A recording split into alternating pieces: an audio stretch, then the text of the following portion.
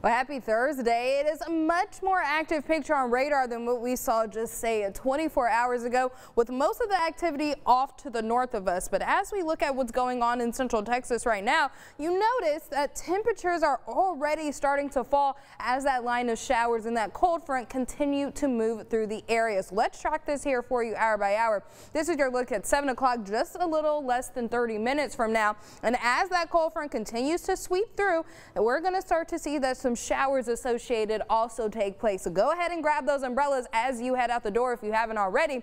But also notice, look how much cooler these temperatures are in some of our western zones. Usually around this time, we're bordering that 90 degree mark.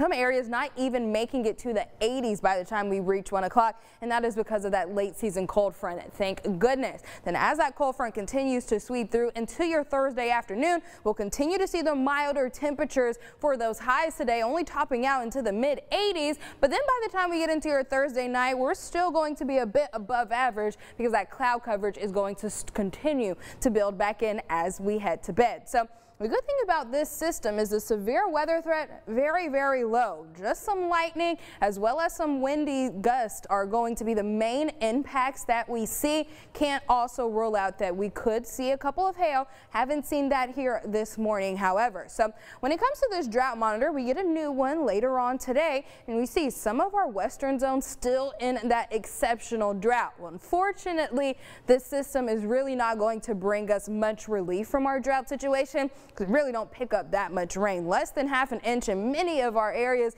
and less than an inch in some of our western zones. So unfortunately, we're not going to see that heavy rain that we need, that soaker to really make an impact. So very, very little relief will probably show once this new drought monitor gets released. But the good news is a little bit of good news for you.